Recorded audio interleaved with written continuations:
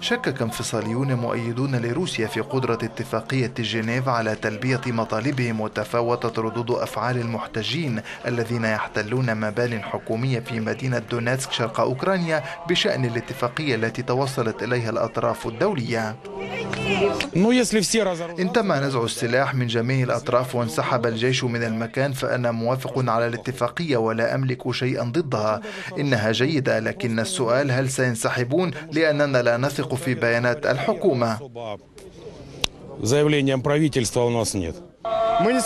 لن ننزع السلاح ونخلي المبنى فالأمر لا يتعلق بنا. إنه هراء. طالما لم نصوت في استفتاء فلن يغادر أحد موقعه.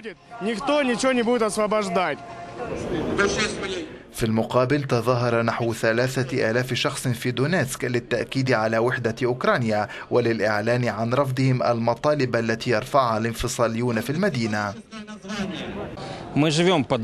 نعيش تحت التهديد دون خوف. لقد سئمنا من الخوف.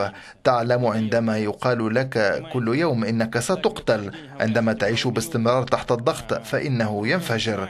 انظر إلى أولئك الناس. الجميع كان خائفا من المجيء إلى هنا لكنهم قد جاءوا. ما تراه هو قمة الجبل الجليدي فقط. جئت هنا لأدعم أصدقائي لأدعم وحدة أوكرانيا ولأشعر بالتشويق فالأمر لم يعد بعد خطيرا في كييف أما هنا فهو شديد الخطورة. موفد قناة يورو نيوز إلى دونيتسك سيرجيو كانتوني يقول